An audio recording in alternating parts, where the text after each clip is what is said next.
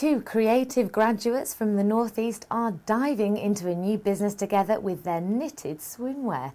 Pearl and Bloom Limited is the new small business born by Rachael Glynn and Sylvie Hall, who graduated in fashion design from Northumbria University this summer. The daring duo say they've created a new knitted fabric that's interwoven with lycra so that it shrinks when it's wet and moulds to the body. The fashion entrepreneurs say they want to push people's ideas about knitwear and what you can do with it.